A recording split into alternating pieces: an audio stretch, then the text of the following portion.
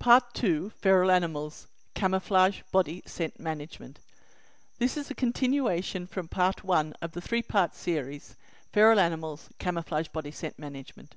Point 6 There is his body scent. The dog did not always roll in the same scents. He changed the scents he rolled in, probably each day, but I do not know the interval. Possibly the scents wore off. Maintaining the same body scent may eventually serve to identify him to a predator. So he did not maintain the same body scent, but changed it. Point 7. Pattern scent memory. It was interesting that the dog put different scents on different paws. For example, kangaroo manure on one paw and sheep manure on another paw. Perhaps feral dogs detect the scent of dog paws on the ground. As well, they detect the pattern of paw scent on the ground. So if the dog trod with all paws in kangaroo manure, a predator could still detect that it was a dog because the kangaroo scent on the paw steps was at the spacing for a dog. So perhaps dogs have pattern scent memory, not only for the scents themselves, for, but also for various patterns of scents. For example, the four step pattern of a dog walking, even if the paws smelt of kangaroo manure. Point 8 Scent map in memory. This leads to the question of scent memory. Perhaps feral animals have a scent map stored in memory of their territory.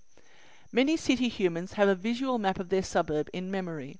Describe a unique house to them, and they could probably take you to it. Perhaps if you had a leaf from a unique tree in a feral dog's territory, the dog would know from the scent of it exactly where the tree was. An issue in scent maps is learning wind patterns and how various scents carry, mix, and weaken on the wind, and how the terrain affects wind patterns. Point 9. Forming new scent maps. A dog may learn to forward a scent map by forming a scent map of new territory that lies ahead. This would assist when hunting prey or escaping a predator, where it is not possible to run along familiar routes. Forming a new scent map would probably be relatively easy where the plants and animals were similar.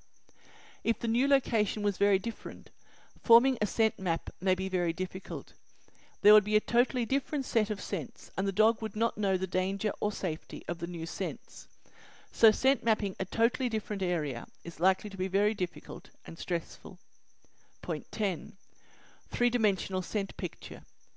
Another unusual factor was that the dog put cow manure scent only on one front leg, shoulder, and just above the shoulder. One way this would be effective camouflage would be if dogs had a three-dimensional representation when they smelt a distant object. For example, city humans might just smell a mouse. A dog may get subtly different scents from various areas of the mouse's body, and so get a three-dimensional scent picture of the mouse. The dog would know what size and shape the mouse was, whether it was standing still or running, and how fast it was moving. If this is the case, then rolling only part of the body in manure may disrupt the three-dimensional scent image a predator might form and so assist in camouflage. This is the end of part two. Please go to part three, Feral Animals, Camouflage Body Scent Management.